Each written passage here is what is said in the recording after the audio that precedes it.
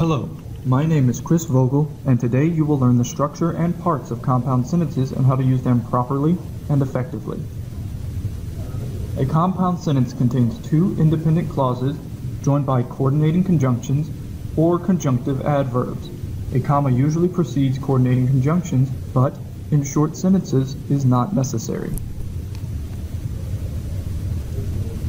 Conjunctions are parts of speech that join words, phrases, sentences, or clauses. Coordinating conjunctions include for, and, but, or, yet, and so. Typically, these are the only conjunctions that should separate two independent clauses. Conjunctive adverbs preceded by a semicolon use adverbs to join two independent clauses. Commas cannot separate two clauses joined by a conjunctive adverb. One example of a compound sentence is, I really want to go to work, but I am too sick to drive. This sentence contains two independent clauses, I really want to go to work, and I am too sick to drive, and combines them with a coordinating conjunction, but. Notice that both clauses could stand alone as their own sentences. I really want to go to work. I am too sick to drive. However, both of these clauses relate to each other. Another example is, we are what we pretend to be, so we must be careful about what we pretend to be. This sentence appears complex because of its wording, but it contains two independent clauses, we are what we pretend to be, and we must be careful about what we pretend to be, joined by a comma and the conjunction so.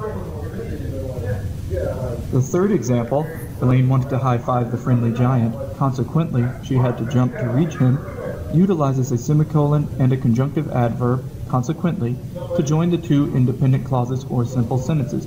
Remember that independent clauses should be able to stand alone and contain a subject, verb, and a direct object, or noun. The use of a comma to separate two independent clauses without the addition of an appropriate conjunction is called a comma splice. Only appropriate conjunctions can adequately link and separate two independent clauses, coordinating conjunctions, conjunctive adverbs, semicolons, or sometimes colons. Not all sentences can or should be combined. For example, I went to the doctor and I hate rain are two clauses which do not have a logical relationship. Only clauses that relate to each other should be combined into a compound sentence. Compound sentences allow you to demonstrate relationships between two clauses. Being able to use these will show logical connections within your writing. Thank you for watching this video. For any question on your writing, please visit the Writing Center in W114.